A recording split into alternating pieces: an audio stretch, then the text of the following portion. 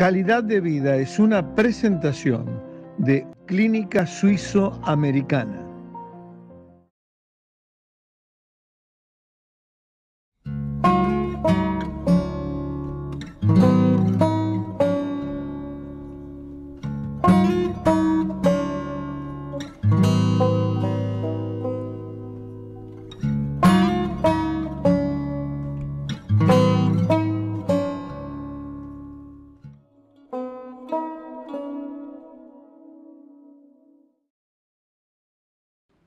¿Qué tal?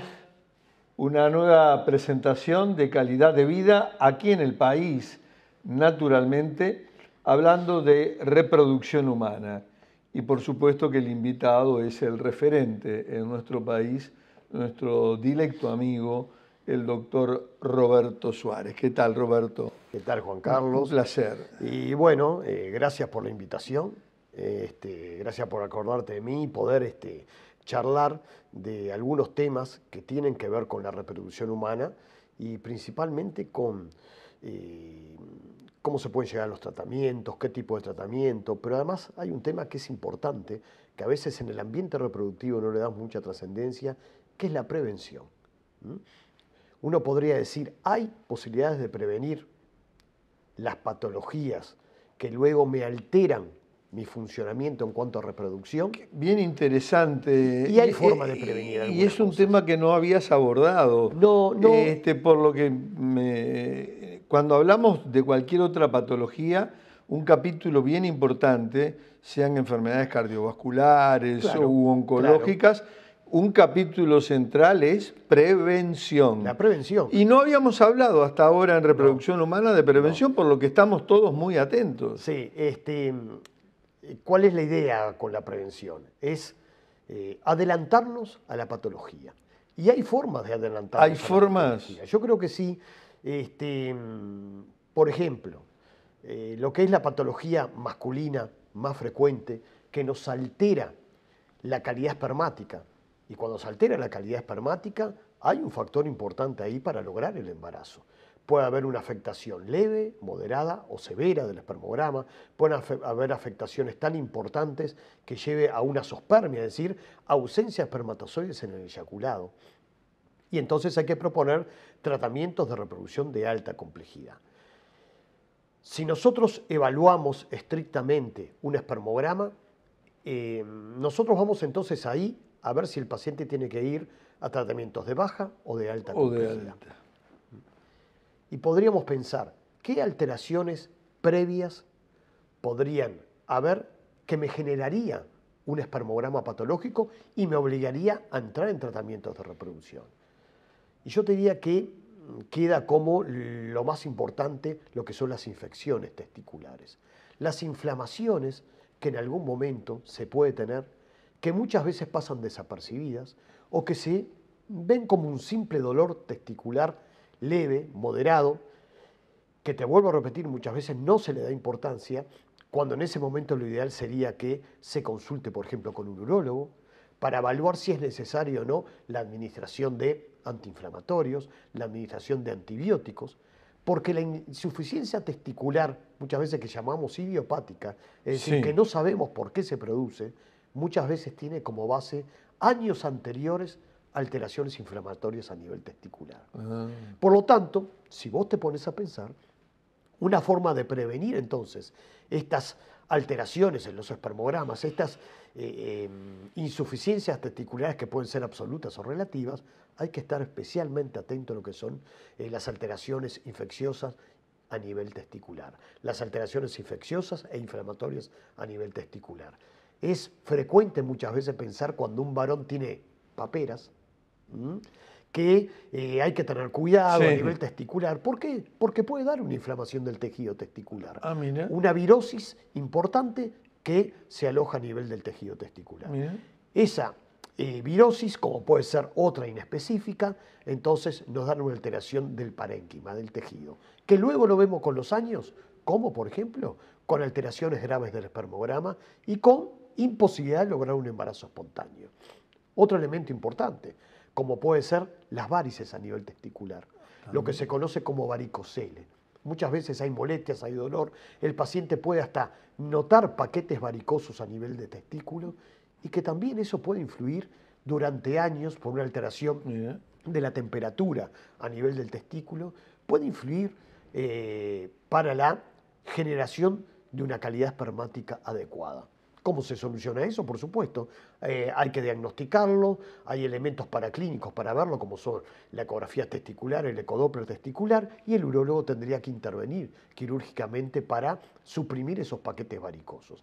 Pero ahí yo te estoy hablando ya de dos patologías muy importantes y que explican gran cantidad de los espermogramas patológicos que nosotros vemos. Por lo tanto, ahí hay elementos de prevención. ¿eh? Eh, el análisis, eh, el autoexamen testicular, periódicamente para ver si hay alguna alteración, alguna tumoración también. Hay que hacerlo porque muchas veces tumoraciones que no tienen por qué ser malignas, porque pueden ser benignas, generan también alteraciones espermáticas. Por lo tanto, hay elementos de prevención a nivel del hombre, a nivel testicular, y que hay que estar atento. A nivel de la mujer, también hay muchos elementos que nos permiten prevenir patologías que luego nos van a generar una esterilidad. Por ejemplo, eh, una de las causas frecuentes de esterilidad en eh, la mujer es el factor tubario. Las trompas uterinas están alteradas, no están permeables. Por lo tanto, al no estar permeables no se puede producir la fecundación espontánea o mediante tratamientos de baja complejidad. La causa principal de la obstrucción tubaria es, una causa también inflamatoria, infecciosa, y principalmente por un germen que se llama clamidias. Eh, por lo tanto, también muchas veces pasa desapercibido. La paciente muestra un simple dolor, una simple molestia, y sin embargo, eh, eso puede ser una infección genital baja y alta que va a generar una alteración estructural de las trompas uterinas. Alteraciones que luego entonces no van a permitir un embarazo espontáneo, por ejemplo, en la paciente. Hay que estar atento a eso también. En cuanto a la prevención en la mujer, también un elemento importante que siempre hablamos, pero es un elemento trascendente para prevenir, es la falla de la reserva ovárica, que la reserva ovárica vaya cayendo con el tiempo. Lo has, dicho muchísimas veces. La raza humana es así. La raza humana es así. Eh, eh, es, es, una, es una raza que tiene un, un periodo ideal para lograr el embarazo. Luego, ¿Es a partir de los 28? Eh, yo te diría que a partir de los 28, 29 años ya se empieza a ver una pequeña caída de la reserva ovárica. Una pequeña caída. Entonces, eso nos genera un problema trascendente. Yo te diría que hoy es el principal problema de, el los principal. Centros, de los centros de reproducción, la falla de la calidad ovárica, De, la, paciente, la reserva ovárica inadecuada. Te diría que es el principal problema. Entonces, ¿cómo podemos prevenir estas cosas? Eh, las alteraciones de la reserva ovárica pueden ser genéticas, inflamatorias, pero una vez que se instala, es irreversible. Oh. Nosotros no vamos a tener una falla ovárica ahora y la vamos a poder mejorar con medicación o con el tiempo. Mm. Todo lo contrario, con el tiempo va empeorando. Entonces, ¿qué consejo podríamos dar para prevenir la falla ovárica? Ante la mínima duda, consultar con un especialista en reproducción para evaluar la reserva ovárica. Hay que evaluar la reserva ovárica. No hay que esperar a los 35 años para evaluar la reserva ovárica. Hay mujeres que de repente tienen eh, menos de 30 años y ya están evaluando la reserva ovárica, lo cual es muy importante y muy bueno, porque tenemos elementos hoy para evaluar la reserva ovárica en forma perfecta, como es la ecografía del tercer día del ciclo, las hormonas del tercer día del ciclo y la hormona antimuleriana. Nos va a permitir llegar a un diagnóstico muy certero de reserva ovárica. Y si nosotros detectamos, como hoy estamos detectando, pacientes con 25, 30 años con una alteración de la reserva ovárica, ya hay, hay que ponerlas en carrera, o para conseguir un embarazo, o por ejemplo para vitrificar óvulos. Pero esos son los elementos más importantes de la eh, prevención de una de las causas más importantes de esterilidad en la mujer.